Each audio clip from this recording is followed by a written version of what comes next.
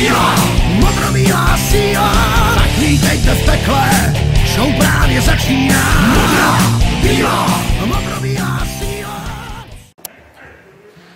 Dnešní utkání s Pražskou Kobrou nám zhodnotí útočník Jan Milfajt, který se asistenci podílel na třech golech nakonec vítězného týmu, i když ten zápas byl dneska hodně kostrbatý a hodně to dřelo a stálo to hodně sil. Budete s tím souhlasit? No, naprosto s tím budu souhlasit. No, za mě to byl jeden z těch eh, horších zápasů, co jsme odehráli tuhle sezónu.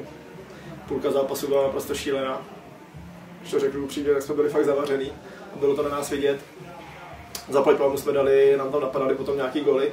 Takže jsme se jako uklidnili a, a, a potom už, už jsme si věřili i na puku a, a dopadlo to dobře za tři body. Kudy vedla cesta k tomu hernímu zlomu, jestli to bylo jenom tím vyrovnáním, anebo v podstatě jste něco museli změnit proti Kobře?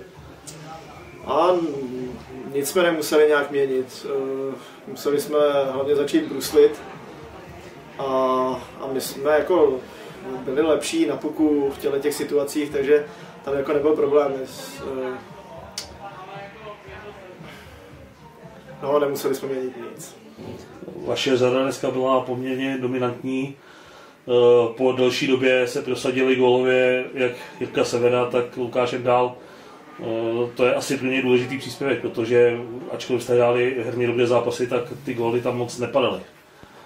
Je to takový paradox, že zrovna dneska jsme víceméně to bylo špatný a ty, body ty góly jsme dali. A jsou zápasy, kdy se cítíme dobře, hrajeme výborný hokej a zrovna nám tam nenapadá. Takže zaplať pámu, že nám tam dneska napadalo a zaplať pámu, že to tam padlo jak Endymu, tak Sevíkovi. Protože Sevík ten už za mnou chodil a že už potřebuje dát góla a Endy si taky chtěl dát už góla. A, takže za to jsme rádi a doufám, že v tom budeme pokračovat. V sobotu cestujete do Mostu, kde se vám ten první vzájemný zápas eh, moc nepovedl, i když doma jste moc celku jednoznačně přehráli. Jaký je to soupeř eh, třeba v konfrontaci s těmi ostatními nebo ve srovnání s těmi ostatními? No, on moc, když přijede k nám, když jede venkovní zápasy, tak si myslím, že je taky poloviční oproti zápasu, co hraje doma.